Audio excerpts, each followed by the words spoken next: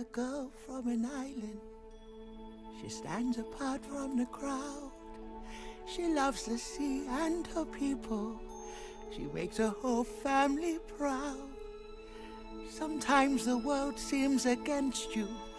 The journey may leave a scar, but scars can heal and reveal just where you are.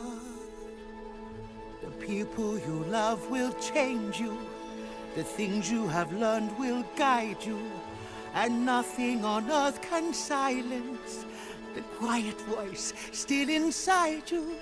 And when that voice starts to whisper, Moana, you've come so far. Moana, listen. Do you know who you are? Who am I? I am a girl who loves my island and the girl who loves the sea. It calls me. I am the daughter of the village chief.